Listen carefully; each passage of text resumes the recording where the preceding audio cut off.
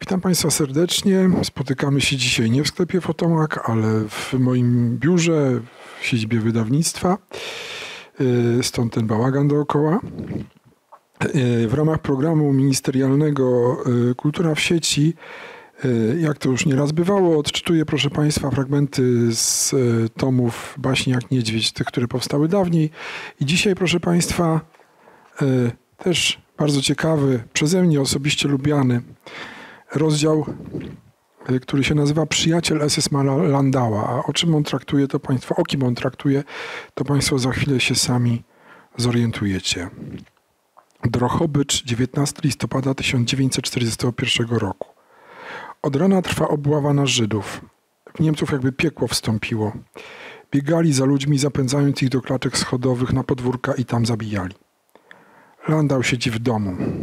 Jest trochę wczorajszy, pił z kolegami do późna. Przyszedł do niego Żyd Szwarc, który miał skończyć robotę. Randall zdziwił się, że jest tylko jeden. Drapie się w głowę, o coś miał go zapytać. Aha, już wie.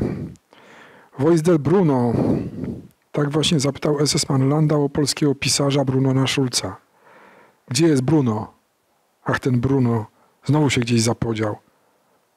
Kiedy Schulz miał już wszystkiego dosyć, dosyć hamowatych uczniów, tej wrzeszczącej gromady, dosyć rady pedagogicznej, dosyć rysunków i robót ręcznych, kiedy już mu się wszystko, kiedy już mu wszystko obrzydło, szedł Bruno Schulz przy księżycu do burdelu przy ulicy Krokodyli, która w rzeczywistości nosiła nazwę ulicy Stryjskiej. Ale co do tego pewności nie ma. Szedł więc tam, gdzie czekały na niego długonogie nimfy odziane w najtańsze perkale, kupowane pewnie jeszcze w sklepie jego ojca, kiedy tamten żył. Nimfy patrzyły długo z za przykniętych drzwi na tego, który przychodził tu jak po nagrodę albo jak pijak po wódkę, by w końcu wpuścić go do środka i pokazać, pokazywać palcami jedna drugiej, kiedy szedł na górę i nie mógł tych drwin widzieć. Potem któraś, całkiem już znudzona, krępowała go sznurem od kotary albo czymś innym, co tam akurat było pod ręką. Za każdym razem obiecując sobie, że teraz to już stłuszę go porządnie – ale wychodziło jak zwykle, bo nie było takiej kobiety, której by się serce nie ścisnęło na widok nauczyciela rysunku z miasta Drochobycz, o którym mówiło się po cichu, że ponoć się przechrzcił. Bić takiego zgroza. O tych wycieczkach pana profesora wiedziało całe miasto, ale ludzie są już tacy, że jak zdarza się obok coś, co dalece wyrasta ponad ich wyobraźnię, to choćby to stało na środku rynku, od nawet takiego jak ten w mieście Drochobycz, widzieć tego nie będą.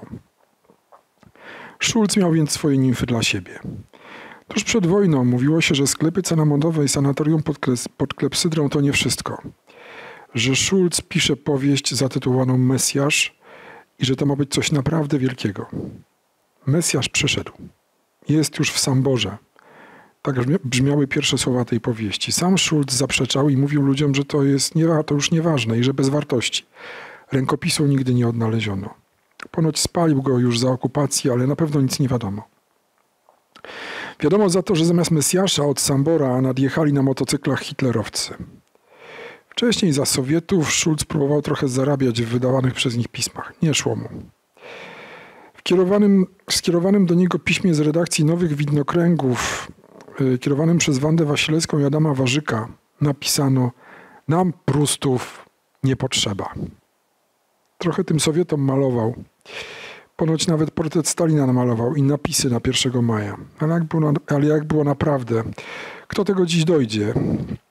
Za Niemców, kiedy znowu przyszli, bo w 1939 do Drochobycza najpierw przyszli Niemcy, ale oddali miasto Sowietom, Schulz zaznajomił się z Felixem Landałem, a właściwie odwrotnie.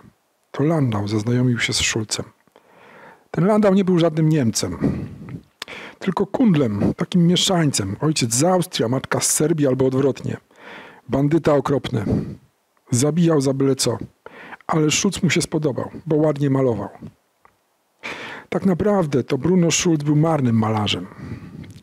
To był doskonały rysownik, ale malarz był z niego słaby. Tylko co to miało za znaczenie dla takiego Landała, kiedy on chciał mieć pokój dziecka jakimiś obrazkami przyozdobiony? Jak pytał Żydów, kto maluje, to mu powiedzieli, że Schulz, nauczyciel rysunku z gimnazjum. Ciężko dziś wyobrazić sobie stosunki panujące w armii Hitlera i jego policji. Coś pomiędzy krańcowym służalstwem a chęcią mordu na najbliższym towarzyszu. To wszystko byli bardzo młodzi mężczyźni, zepsuci przez wojnę i kryzys, często kryminaliści lub po prostu patologiczni zbrodniarze z zamiłowania. Mieli jakieś ambicje, rywalizowali ze sobą, traktowali się raczej serio i żaden nie liczył na poczucie humoru drugiego. Mieli jakieś kobiety, chcieli im imponować, bali się o życie, donosili na siebie nawzajem. Próbowali różnych interesów, żeby to robić. Taki na przykład, taki na przykład SS-man Günther miał Żyda Hauptmana. Ten Żyd to był nie tylko stolarz, rzemieślnik, ale on robił takie meble i takie intarsje, że w Faterlandzie nikt takich nie widział. On to robił dla Gintera, żeby ten mógł to wysyłać do domu i żeby to tam sprzedali za duże pieniądze. To się, nie, to się wcale nie podobało komendantowi Landauowi, który z kolei miał Żyda Szulca, nauczyciela rysunku. Kiedy komendant Felix Landau dowiedział się o tym, jak Ginter przy pomocy stolarza Hautmana reperuje swój budżet, zdenerwował się mocno, bo nie lubił, jak coś działo się bez jego kontroli. Zawołał zaraz tego Hautmana, kazał mu stanąć tyłem i strzelił mu w kark. Podobno. Też nie wiadomo do końca, czy Ginter wściekł się o tego stolarza, czy o co innego. Oni rywalizowali ze sobą mocno, potem śmiali się i pili, ale na służbie ścierali się ostro. Ponoć poszło nie o stolarza, ale o coś innego. O to, że Ginter przybudowywał ulicę Świętego Jana, robił tam takie Garteneraj, to znaczy Żydzi robili, a on był odpowiedzialny. No i zostawił tych Żydów i gdzieś polazł. A budowa była tuż obok willi komendanta który opalał się ze swoją kobietą na tarasie. Kiedy Żydzi zwolnili tempo, Landau przyniósł karabin i strzelał do nich raz za razem. Dużo ludzi wtedy zabił, a śmiał się, taką szkodę Ginterowi zrobił. Tak więc w czwartek, 19 listopada 1942 roku, miał SS-man Ginter kilka powodów do tego, żeby biegać po mieście Drochobycz i szukać nauczyciela rysunku z gimnazjum imienia Władysława Jagieły Brunona Szulca. W końcu go znalazł ten feralny czwartek Schulz był już właściwie gotowy do wyjazdu do Warszawy. Miał fałszywe papiery, które dostarczyła mu AK. W Warszawie czekała na niego Zofia Naukowska. Miał jechać. Dostał nawet z Judenratu przydział chleba na drogę. Bał się wyjazdu i mówił o tym. On się w ogóle bał miasta. To dziś nie do uwierzenia, ale Warszawa sprzed wojny była dla niego wielkim miastem.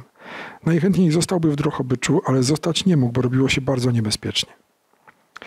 Tak więc szedł Bruno Schulz w listopadowy dzień do swojego mieszkania, szedł jak duch poprzez miasto, gdzie na ulicach leżały trupy i mijał Niemców, Ukraińców i Litwinów w mundurach, którzy na wyprzódki zabijali drochobyckich Żydów. I nikt nie wie, jak to było, że znalazł go ten Ginter. Ponoć powiedział do niego, panie profesorze, niech się pan odwróci. Ale kto tam wie, jak było naprawdę? Ponoć przytrzymał go za kołnierz i strzelił z bardzo bliska. Ale czy taki Ginter, co lubił intarsję, ryzykowałby zachlapanie munduru mózgiem i krwią polskiego pisarza? Zostawił go na ulicy w rynsztoku i od razu poleciał szukać Landała. Zastrzeliłem twojego Żyda, wrzeszczał już od produ, prod progu. Zastrzeliłem twojego przyjaciela Brunona. Landau zmartwił się. Kto mu teraz dokończy malunki na ścianach? Gdzie jest pochowany Bruno Schulz, tego nikt nie wie. Podobno zawleczono ciało nocą na Drochobycki cmentarz i zakopano w jakimś grobie ale nikt nie pamiętał, który to grób. Po wojnie, kiedy znów przyszli Sowieci, wszystko się na tym cmentarzu zmieniło. Dziękuję Państwu bardzo.